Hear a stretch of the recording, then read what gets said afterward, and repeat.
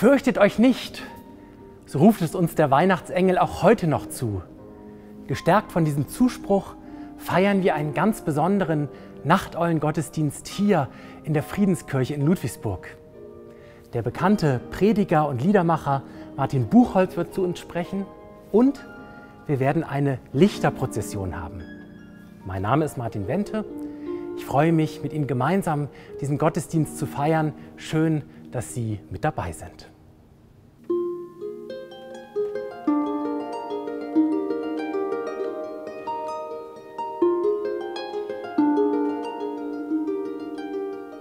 Vielleicht wärmten die Männer gerade ihre Hände am Feuer.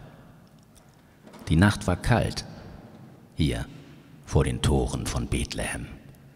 Eine Nacht wie jede andere für die Hirten.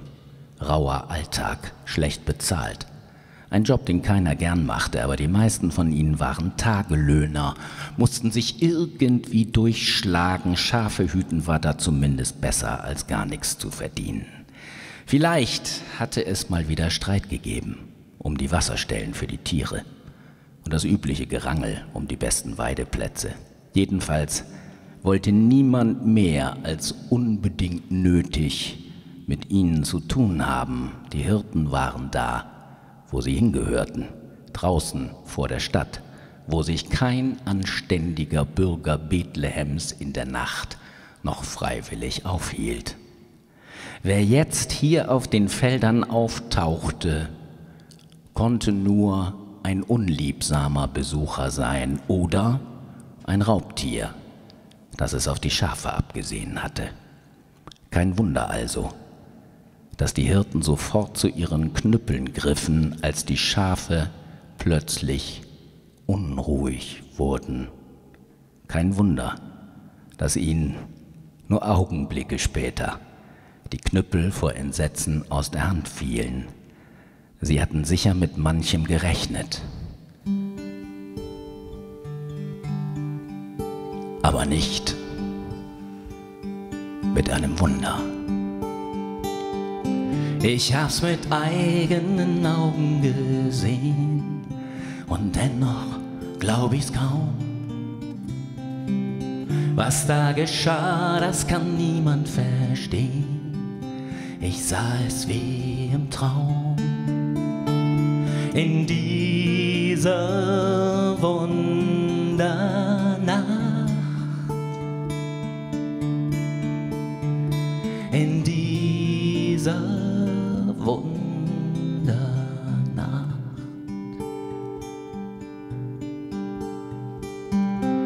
Auf einmal war da ein gleißendes Licht und strahlte auf das Feld. Und jemand sprach, Hirten fürchtet euch nicht, denn Gott berührt die Welt. In dieser Wundernacht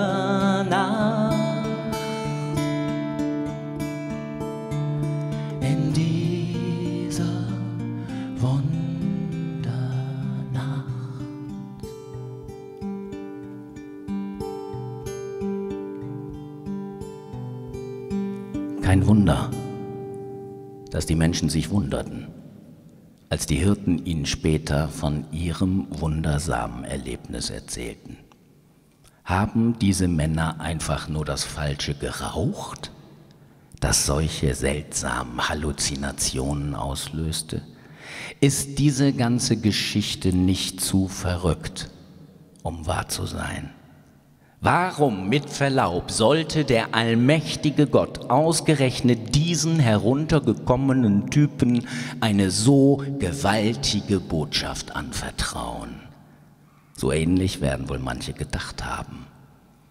Und auch heute noch wundert es mich manchmal, dass uns das offenbar kaum noch auffällt. Gott wendet sich mit seiner großen Liebesgeschichte zuerst an genau die Menschen, mit denen keiner was zu tun haben wollte. Die Weihnachtsgeschichte beginnt mit Gottes Vorliebe für die Armen, die Tagelöhner und die Ausgegrenzten der Gesellschaft. Der Himmel singt sein Lied für sie alle. Heute wie damals für die Hirten auf den Feldern von Bethlehem. Ich hab den Klang der Musik noch im Ohr, der ganze Himmel sang. Gelobt sei Gott, denn ein Kind ist geboren. Die Liebe bricht sich Bahn in dieser Wundernacht.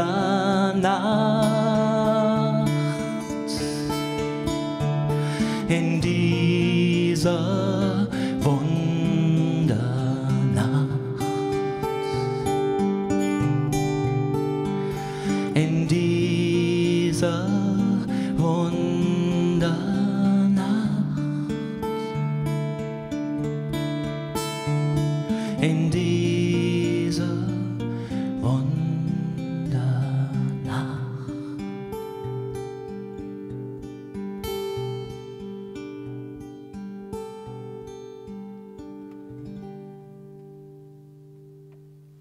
Was das Lukasevangelium über die Hirten von Bethlehem erzählt, das halte ich für eine wirklich und wahrhaftig bewegende Geschichte.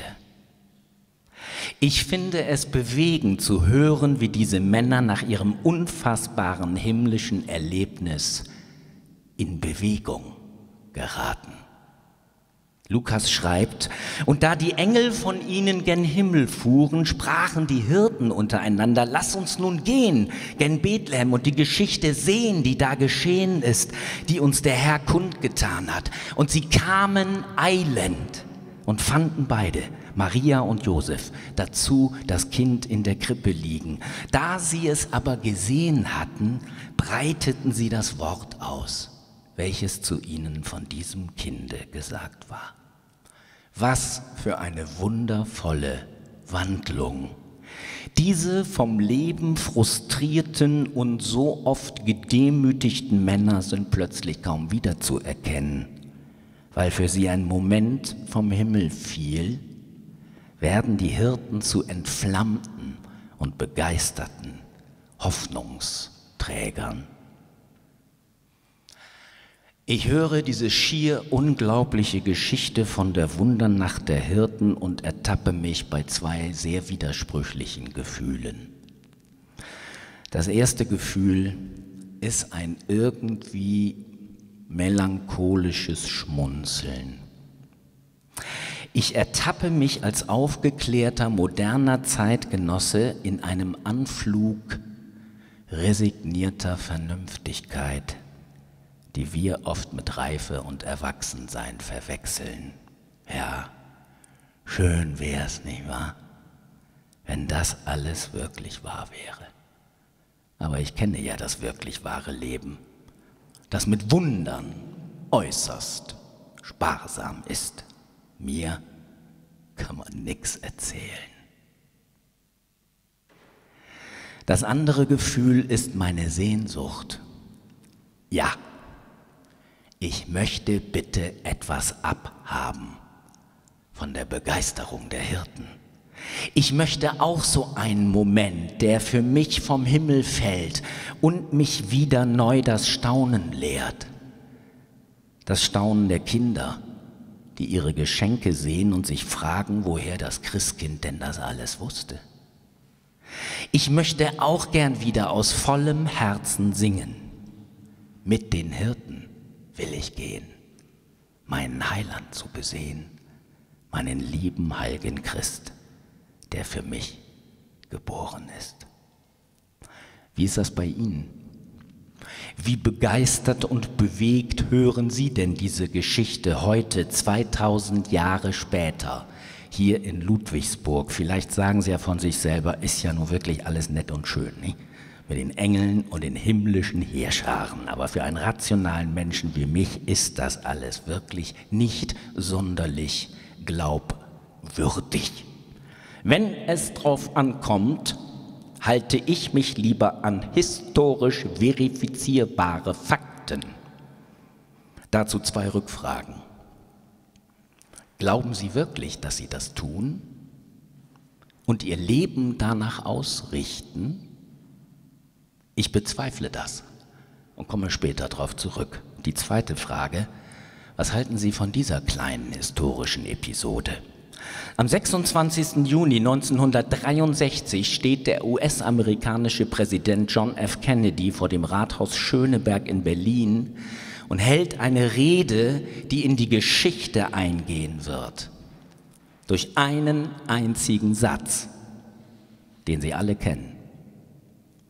1961 war die Berliner Mauer errichtet worden, die schmerzhafte Trennung der Stadt in Ost und West. Nun, zwei Jahre später, sagt John F. Kennedy, ich bin ein Berliner.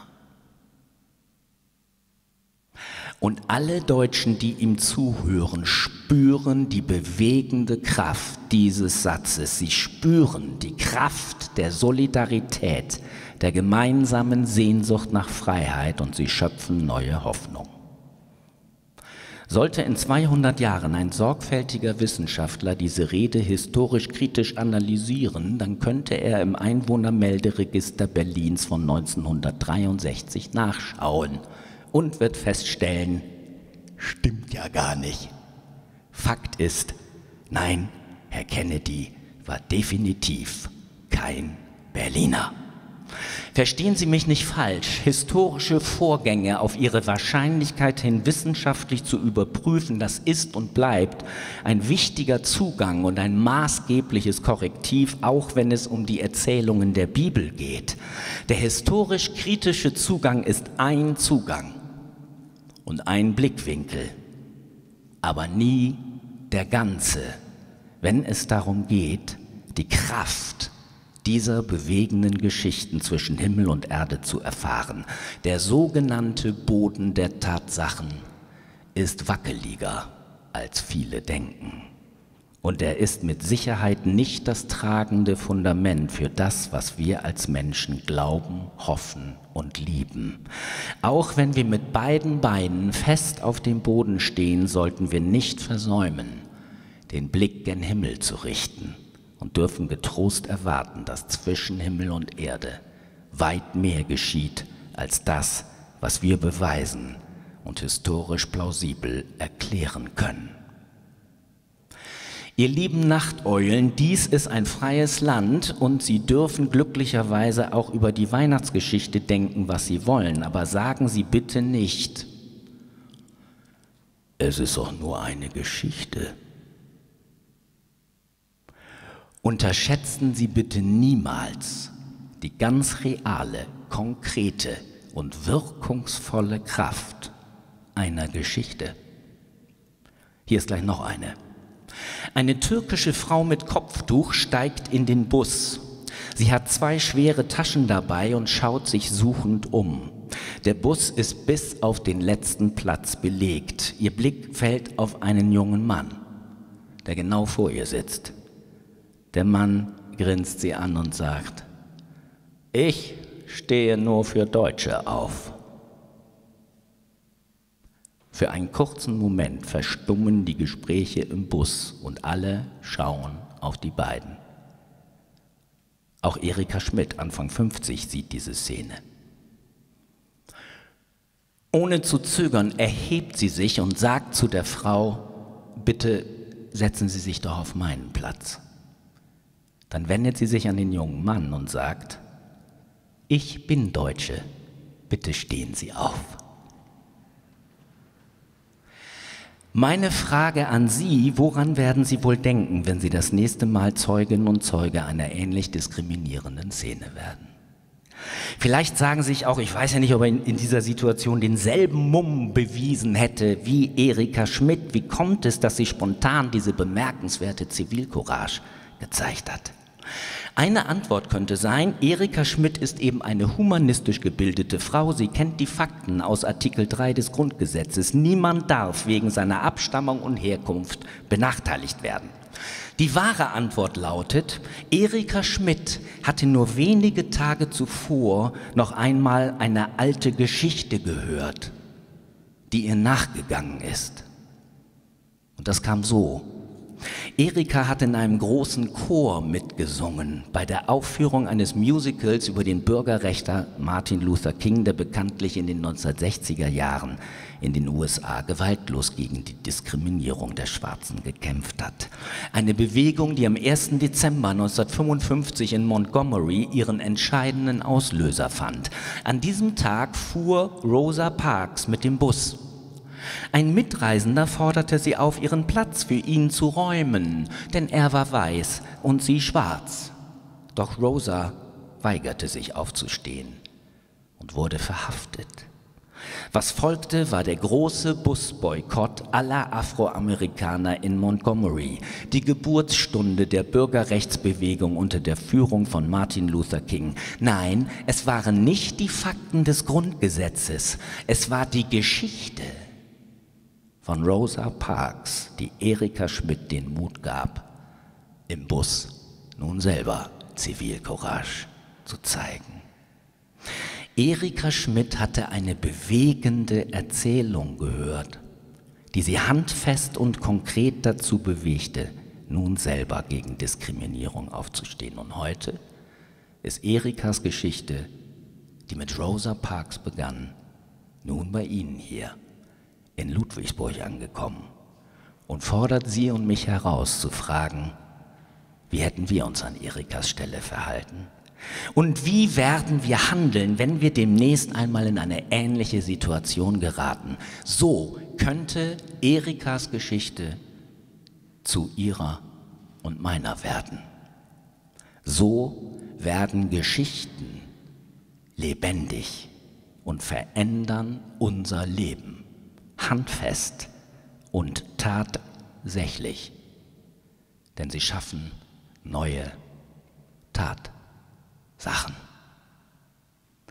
Wir Menschen deuten unser Leben nicht durch Zahlen, Daten und Fakten, wir deuten unser Leben durch Erzählungen, die uns berühren, die uns betreffen und bewegen. Wir deuten unser Leben durch Geschichten. Wir können gar nicht anders. Die Bibel ist voll von wundersamen und oft ganz wundervoll widersprüchlichen Erzählungen über das, was Menschen mit Gott erlebt haben und wie sie diese Erfahrungen deuten. Jede dieser Erzählungen wirft ein schillernd buntes und vielfarbiges Licht darauf, wie Menschen das erfahren, dass der lebendige Gott mit uns zu tun haben will. Wir können gar nicht anders, als in Geschichten über unsere Erfahrungen mit Gott zu erzählen. Und doch ist Gott keine Geschichte. Gott bleibt das unverfügbare Geheimnis der Liebe, das wir mit all unseren menschlichen Bildern und Liedern und Erzählungen niemals in den Griff bekommen werden. Dennoch lautet unsere Glaubenserfahrung als Christinnen und Christen, dieser geheimnisvolle große Gott will mit uns persönlich zu tun haben. Und in seiner Barmherzigkeit hat Gott dafür auch einen Weg gewählt, auf dem er uns als Menschen erreicht, berührt und bewegt. Gott erzählt uns eine große Geschichte. Die Geschichte vom Jesuskind in der Krippe, die Geschichte von Jesus dem Immanuel, in dem Gott mit uns ist, die Geschichte von Gott, der Mensch wird wie wir, der Leid und Freude mit uns teilt und uns verheißt, siehe, ich bin bei euch alle Tage bis an der Weltende. Und darum, ihr Hirtinnen und Hirten, ihr Ludwigsburger, fürchtet euch nicht, denn die Engel verkündigen uns große Freude. Das wünsche ich dir und dafür beten wir, dass auch für dich in diesem für viele so schwierigen Jahr ein Moment der Vorfreude vom Himmel fällt und dass diese alte Geschichte der Hirten von Bethlehem auch für dich neu lebendig wird und dich bewegt, mit neuer Zuversicht weiterzugehen. Jesus kommt das Licht der Welt, das die frustrierten Hirten entflammte und bewegte. Ich wünsche dir und mir, dass auch wir uns wieder anstecken lassen von diesem Licht der Hoffnung. Heute soll es leuchten für die Welt. Zünde eine Kerze an, dein Lebenszeichen. Seht, wie unser Licht die Nacht erhält. Amen.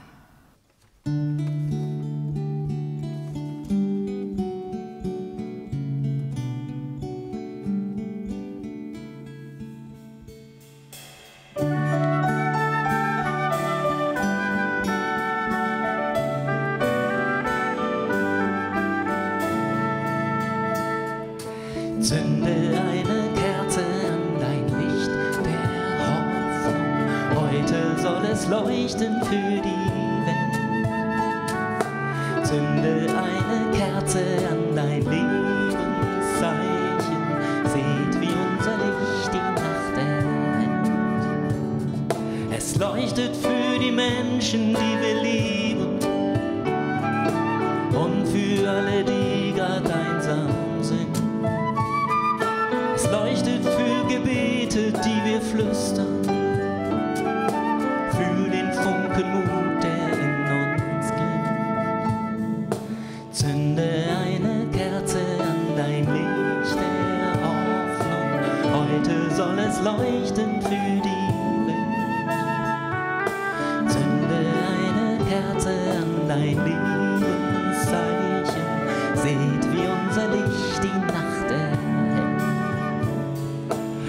leuchtet für die Menschen, die uns helfen, für die Ärzte und die Pflegerin. Es leuchtet für den Trost, den wir jetzt brauchen, für den Abschied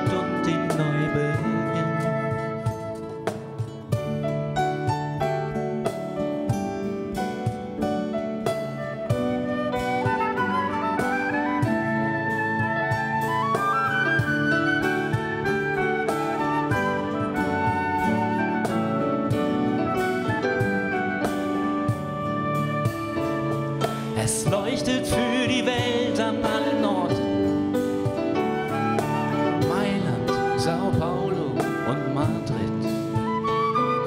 Es leuchtet für die Kraft, die uns verbindet. Für den liebevollen nächsten Schritt.